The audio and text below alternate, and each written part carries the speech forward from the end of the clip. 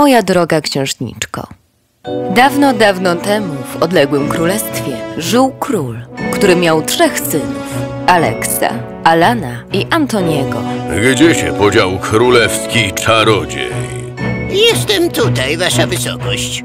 A, dziękuję za przybycie w tak krótkim czasie. Siadaj, proszę.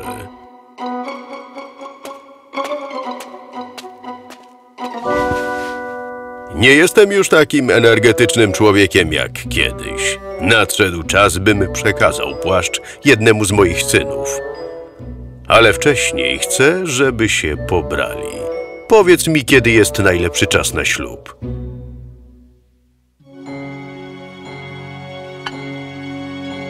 Kula natychmiast zajaśniała. Kolorowe smugi zaczęły szybko wirować.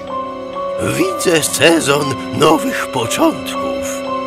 Widzę, jak szkarłatne tulipany przytulają niebo. Widzę statki z nadętych białych chmur płynące pod błękitem. Widzę, że wiatry już nie kradną nam ciepła. Widzę chaotyczne łodygi skręcające się w radość nowego życia. Widzę wiosnę, mój drogi królu.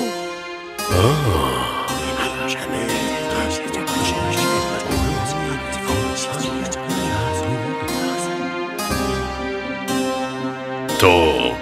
to już za miesiąc. Tak, wasza wysokość. I siódmego dnia nastania wiosny twoi synowie powinni wybrać swoje narzeczone. Oczywiście zgodnie z odwieczną tradycją. Oczywiście.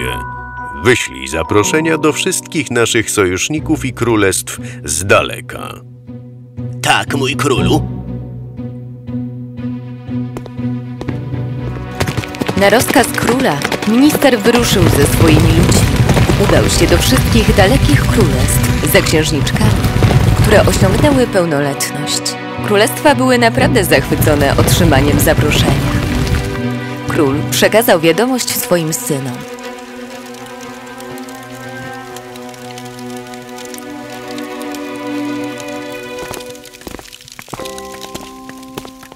Ale Alex i Alan nie dorośli, by polubić swojego młodszego brata Antoniego, ponieważ był najprzystojniejszym z całej trójki. Najmilszym, a zarazem najbardziej popularnym wśród ludu.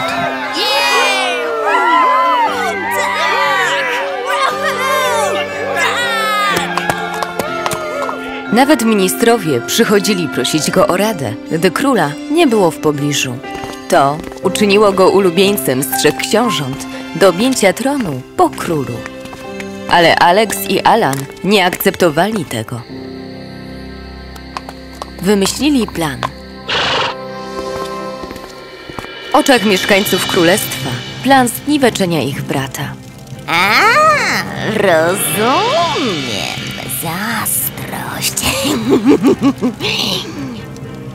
Prawdziwa więź to więź, która nie jest więzią krwi, lecz szacunku i radości w życiu innych. Zdaje się, że nic takiego nie czujecie do Antoniego, a zatem nie macie więzi. Nie przybyliśmy tutaj słuchać twojego przemówienia. Czy możesz nam pomóc, czy nie? Ach, oczywiście mogę, absolutnie.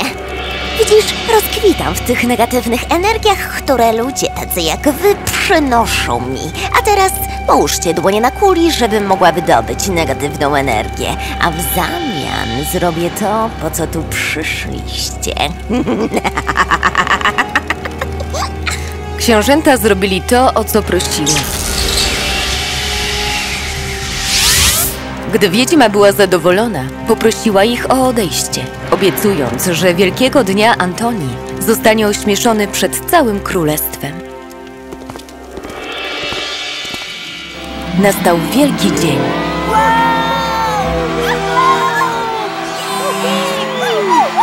Księżniczki z całego świata wzięły udział w wydarzeniu.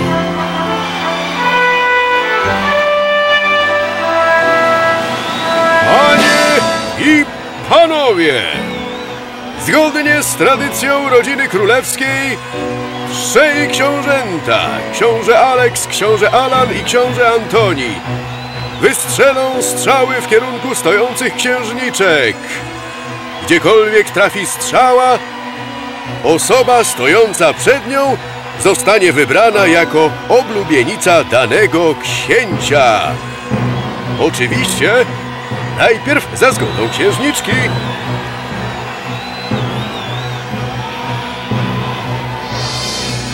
Drogie księżniczki, jeśli któraś z was przebywa tu wbrew swojej woli, niech wystąpi krok do przodu. Ale nikt nie wystąpił do przodu. Wszyscy chętnie uczestniczyli. Dobrze, zatem zaczynajmy. Alex, ty pierwszy. Alex spojrzał na Alana i uśmiechnął się. Następnie podniósł łuk, skierował go w niebo i wypuścił strzałę. Strzała poszybowała w górę, zanim grawitacja zaczęła działać swoją magię. Następnie spadła na ziemię i wylądowała przed księżniczką Ropey.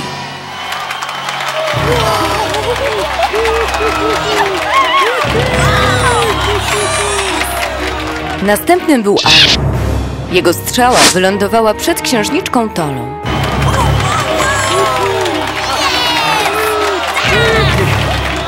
W końcu przyszła kolej na Antoniego.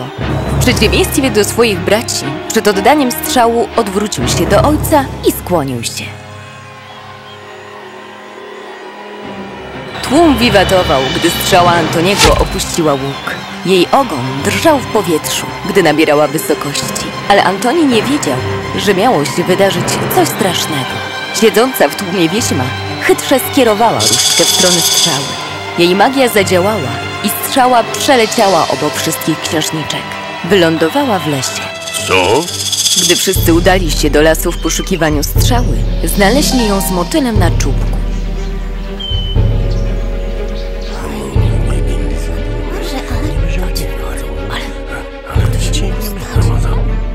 O nie!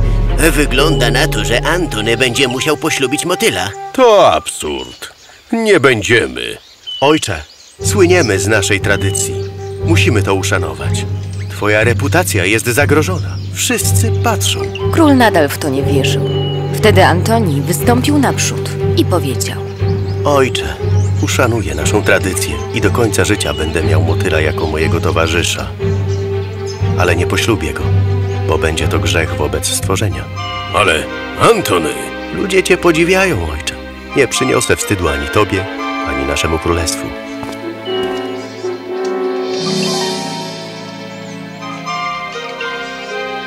Dni mijały, a Alex i Alan dumnie spacerowali po ulicach królestwa ze swoimi żonami.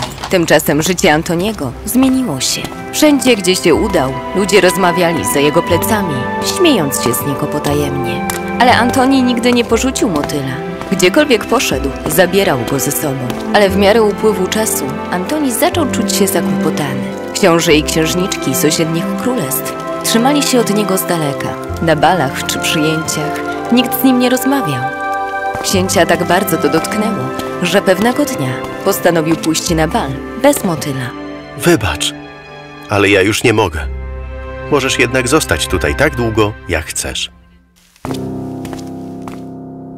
Kiedy Antoni dotarł na bal, był zahipnotyzowany, widząc piękną kobietę. Był tak oczarowany nią, że natychmiast do niej podszedł. Czy mogę mieć tę przyjemność? Ale kobieta nic nie powiedziała i po prostu podała rękę. Tańczyli w rytm pięknego walca. Antoni nie mógł wierzyć, że tańczy z kimś tak pięknym jak ona. Jak masz na imię? Kobieta milczała.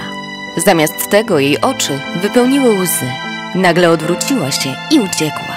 A, czekaj. Kiedy Antoni wrócił do domu tej nocy, prawie nie patrzył na motyla. Myślał tylko o kobiecie. Czy ona jest księżniczką? Z którego królestwa pochodzi? O, moje serce. Ledwo mogę się powstrzymać.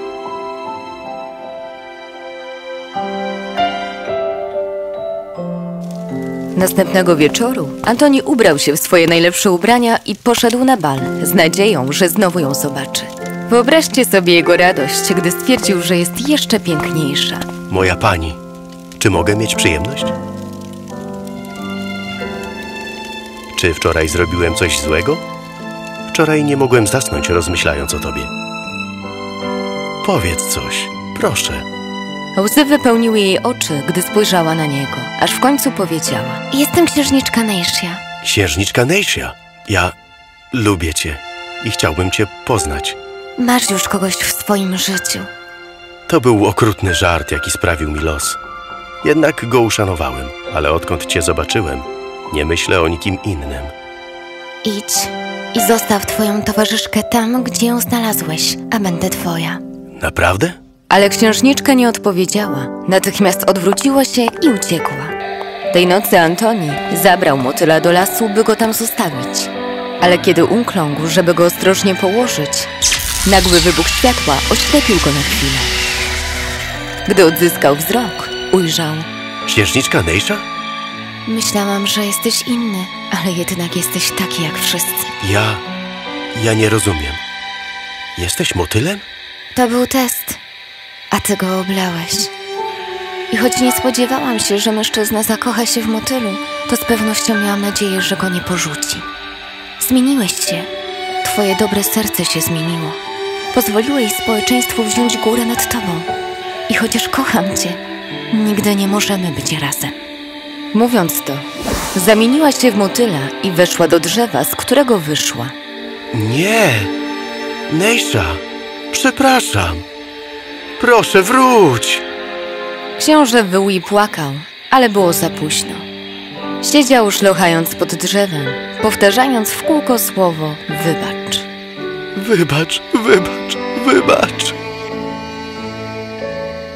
Przez sześć dni i nocy siedział tam płacząc, bez jedzenia i wody, a jego twarz stała się blada i martwa. Tylko szeptał. Wybacz, wybacz, wybacz. A kiedy zdawało się, że zaraz wyda ostatnie tchnienie, pień drzewa otworzył się i wyszedł motyl.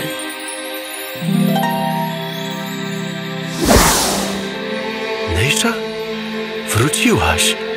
Jakże mogłabym inaczej? Twoja miłość jest czysta, już wiem to.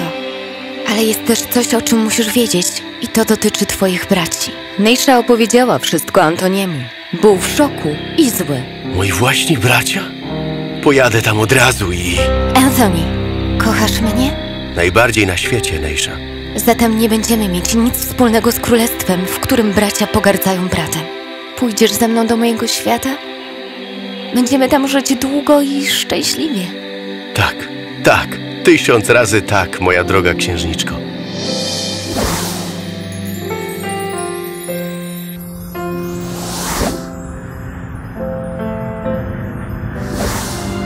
Witaj w moim świecie. Tak oto, dwoje kochanków rozpoczęło nową podróż, z dala od nienawiści czy zazdrości. Jak widać, żyli długo i szczęśliwie.